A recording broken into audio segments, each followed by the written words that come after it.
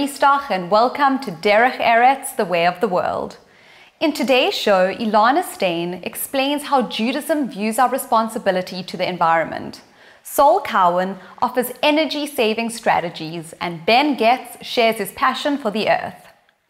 Founder of Jewish Eco Seminars, Rabbi Yonatan Neril explains that Jewish tradition teaches us that we only merit the opportunity to rule the earth if we behave righteously.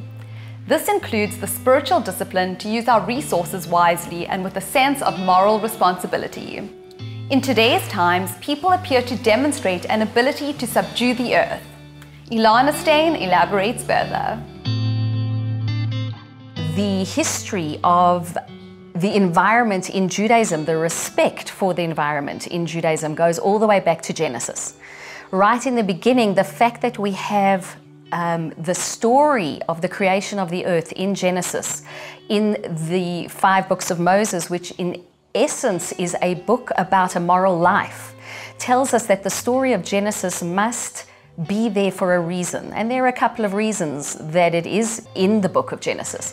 One though, of the reasons is definitely to give us an understanding that God took the trouble to make the earth with all its beauties whether over six days or 15 billion years is irrelevant.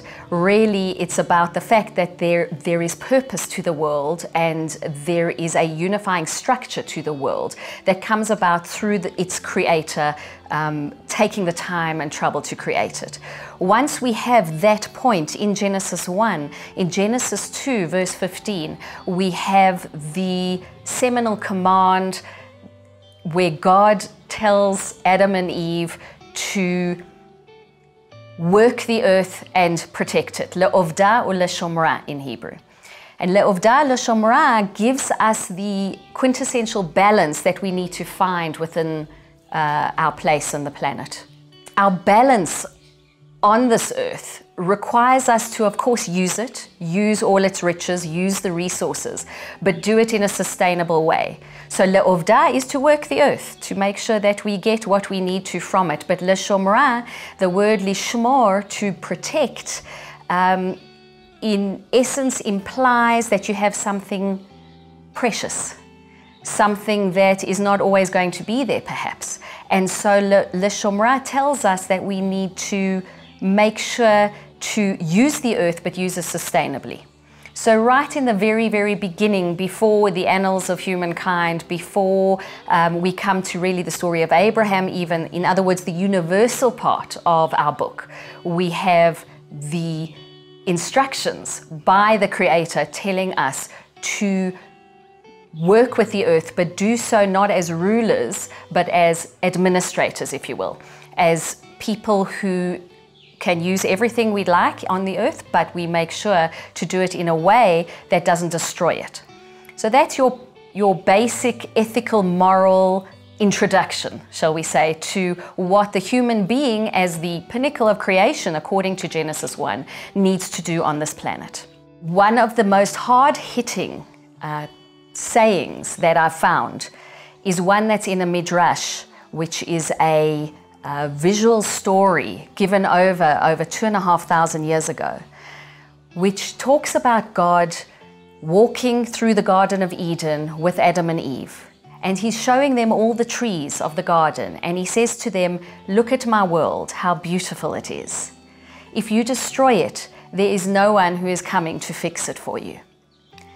And that's from Kohelet Rabbah, um, a very ancient midrash, as I said. And why that is so hard hitting, of course, is that two and a half thousand years ago, the rabbis and sages understood that it was up to us, that we can't sit back and think that someone is going to come and save the world.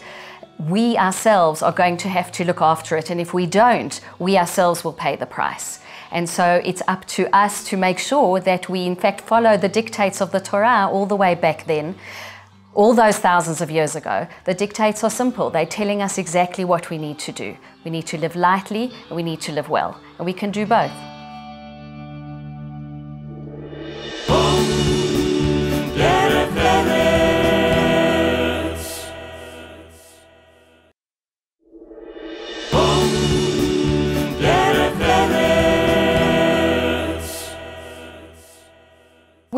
Getz founded Urban Harvest Edible Gardens, he felt that it was the expression of his love for this earth. He believes that we are as responsible for the earth's well being, just as it is responsible for ours.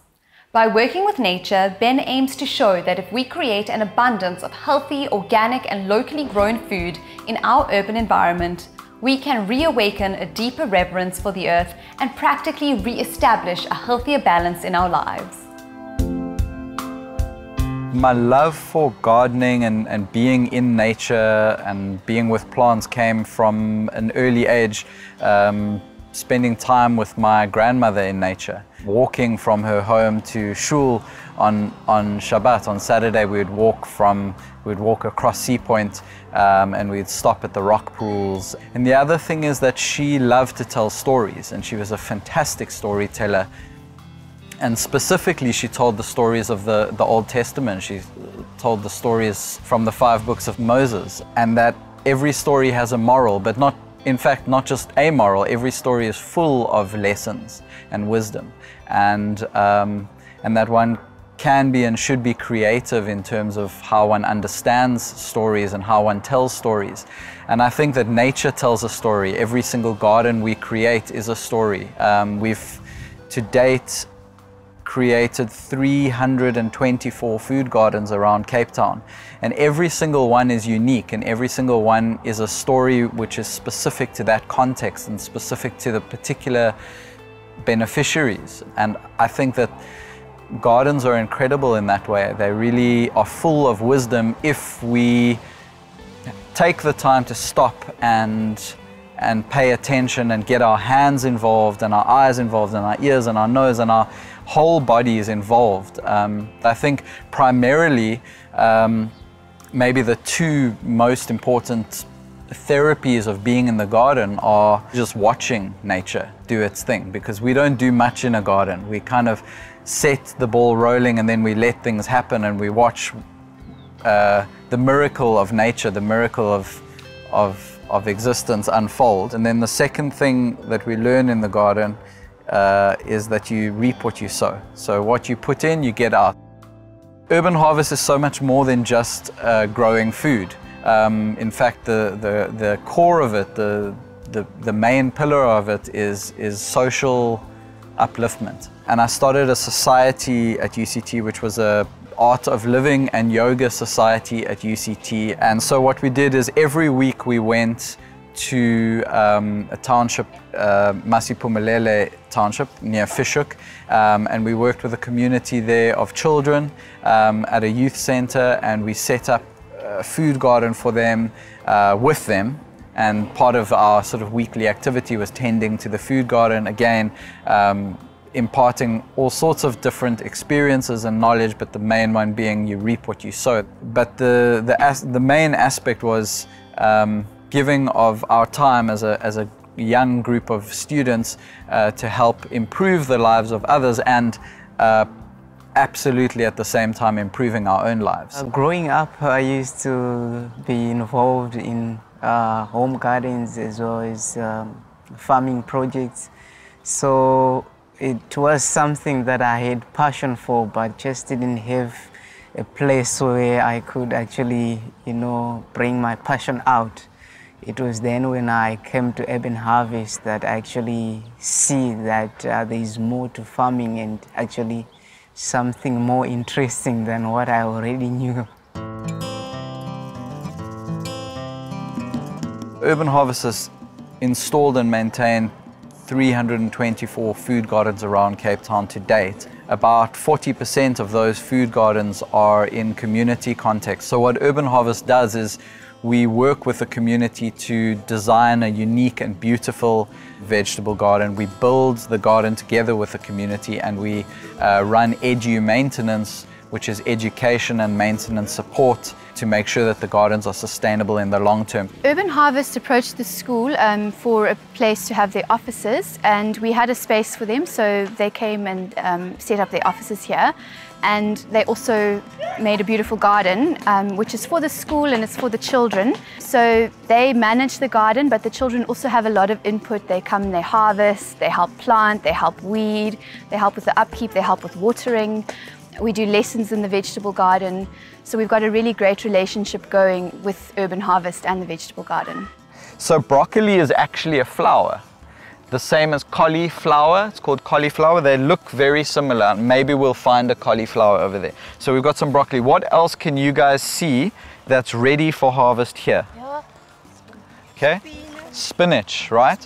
Lots and lots and lots of spinach. The garden means a lot to the kids at the school. Number one, it has a lot of vitamins.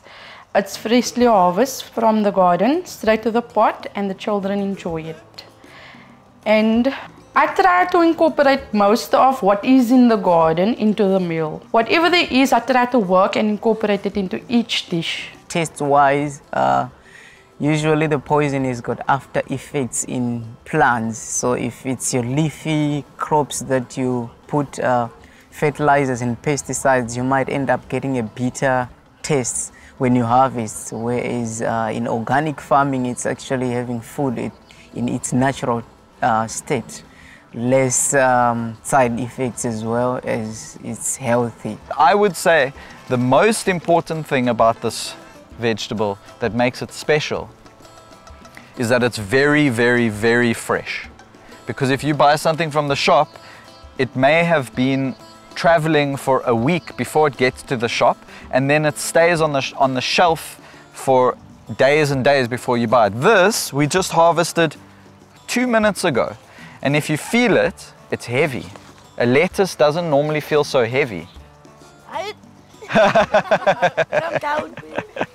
In the beginning, people are getting into it because um, they're talking about, yeah, we need fresh food for the feeding scheme.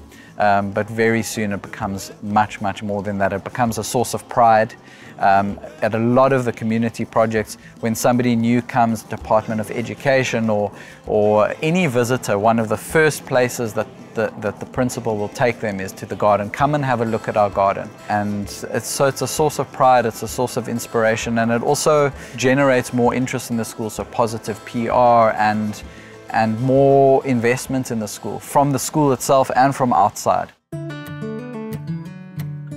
I would uh, describe Ben as a man who's uh, full of uh, knowledge in terms of farming, uh, which obviously has developed through the years he's been involved in farming. And I think uh, for somebody who hasn't met Ben, there is quite a lot to learn in terms of organic farming.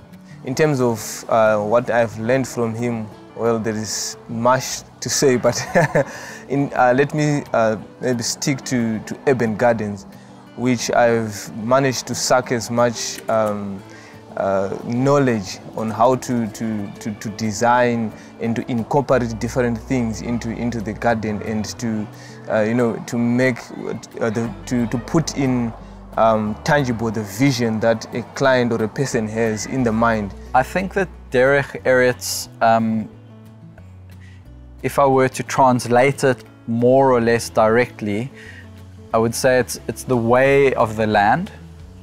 Um, and, and to be more poetic about it, I'd say that it's actually about the way of nature. And for myself, it's a question I've been asking myself my whole life, which is what is my nature and what is my purpose on the planet? And I think that in terms of what, our, what is our nature, everyone has a unique fingerprint. Everyone has an absolutely unique purpose to fulfill on the planet. The one thing that I think connects us is that um, the one thing that we share is that I believe that we're all here to make a positive difference and to be generous and loving and supportive of each other and of nature.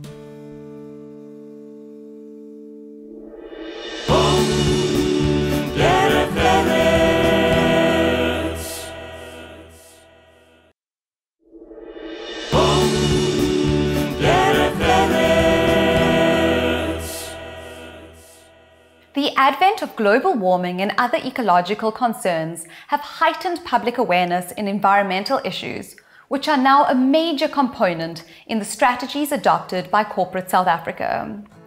In 2000, Johannesburg's first executive mayor, Amos Masondo, appointed Sol Cowan with the responsibility of overseeing the regeneration of the inner city of Johannesburg. Today, Sol, together with his partner Greg Sloan, specialize in advising, designing, and implementing energy saving strategies and renewable energy solutions. My mother comes from Poland, uh, and during 1939, with her, with her father and mother and her sister, they were forced to leave Poland. My father's history is he comes from the UK originally, they were entrepreneurs of great enormity. They started various businesses.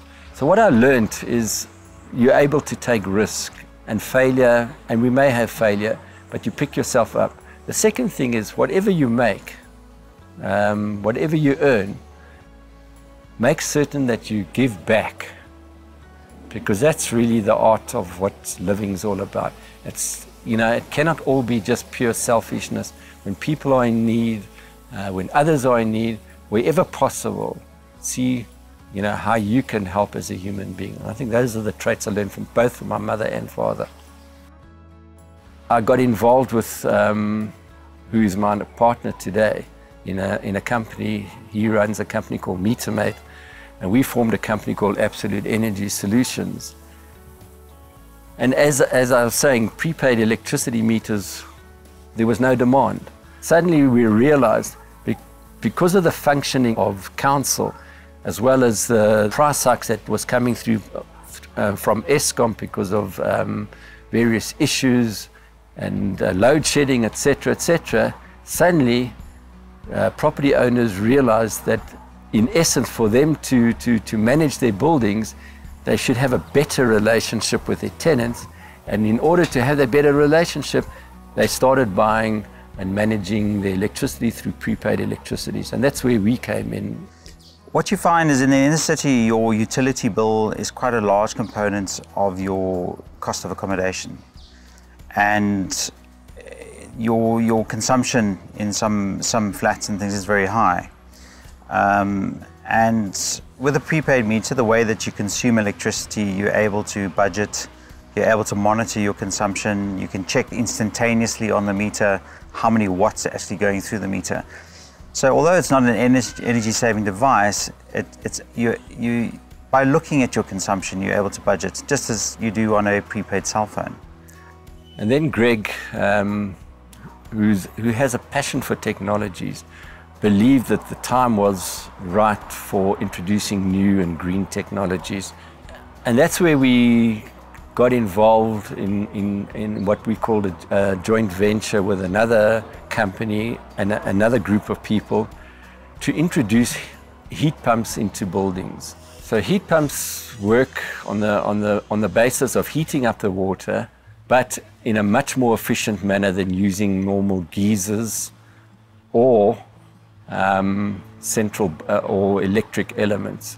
But the theory and the practicality is that once you put heat pumps and you spec it properly into a building to heat up uh, the water for the tenants, um, there are huge savings. But on a conservative level, a heat pump in a building um, will save you at least 40 to 50% of your electricity bill.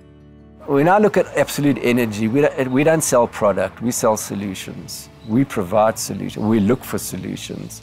So some of our other solutions that we provide with one of our other joint venture partners is lighting for, for buildings, mainly the passages and the parking, you know, um, what they call LED lighting and linking that to sensors so that, you know, movement sensors so that the lights do not stay on the whole time, 24 hours a day.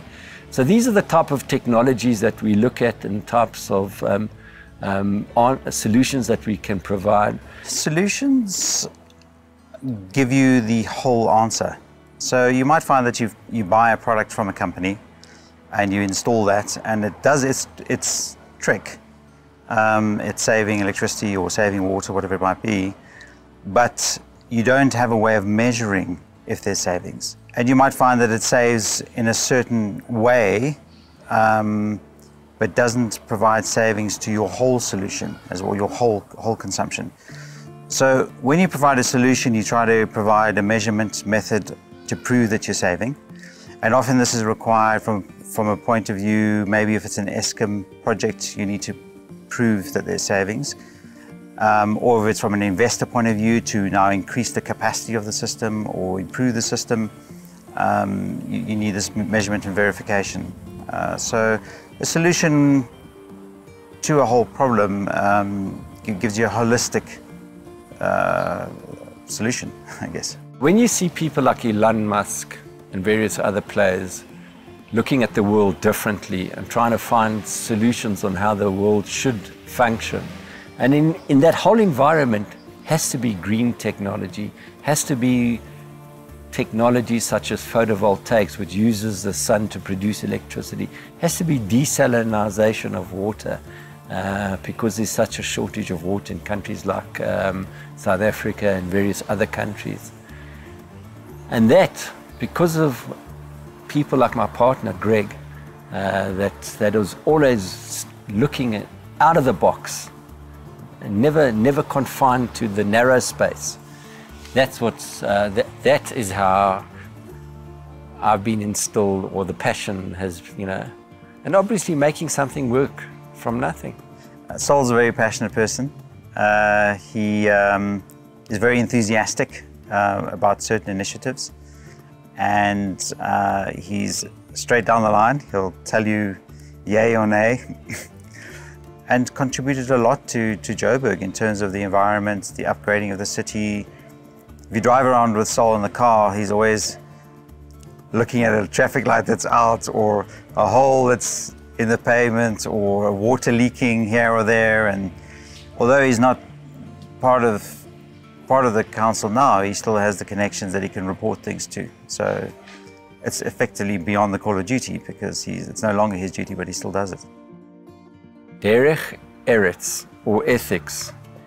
In essence, it's about how we conduct ourselves with our fellow human beings but it, it goes more than that is, you know, people put you into positions of power. There's two ways of playing it. Either, either you play it straight uh, with no hidden agendas, or you, you join some of the other clan uh, where, where it's not about the people, it's not about your, your goal of serving, but it's your goal of self-aggrandization uh, and self and self-serving.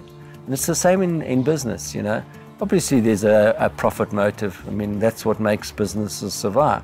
But it, it, it, becomes more than that. You know, it's your passion for, for what you're doing, and it's also how you handle people. Judaism, with its rich heritage and history of respect for nature and all forms of life, is in a perfect position to inform a better adjusted and more balanced environmental ethic. In Genesis Rabbah 10, verse 7, Rabbi Simon said, there is no plant without an angel in heaven tending it and telling it grow. We would love for you to join our conversation, so share your thoughts and stories on our Facebook page Derech Eretz Connect. From me, Romy Stoch and the Derech Eretz team, if you look after the world, the world will be good to you.